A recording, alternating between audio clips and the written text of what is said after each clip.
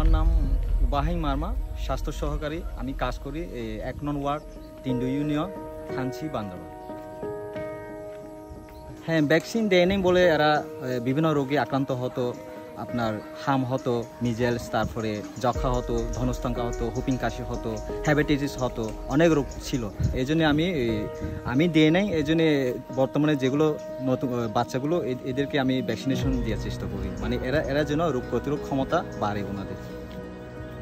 Share করতে চাই অবশ্য এখানে আসলে আমরা কাজ করতে গিয়ে অনেক কিছু আমরা বাধার সম্মুখীন হচ্ছে, কেননা এখানে, এখানকার কাজ করতে গেলে তো আমরা পাহাড় থেকে, ওই পাহাড় থেকে ওই পাহাড়ে হাঁটতে হয়, দুই, তিন ঘণ্টা ধরে কাজ করতে আমরা অনেক, একজন হেলথ অ্যাসিস্ট্যান্ট আমরা ওই ওই জঙ্গল থেকে, ওই পাহাড় থেকে, ওই পাহাড় হাতে গিয়ে আমাদের অনেক কিছু ওই সমস্যা হয়ে যায়।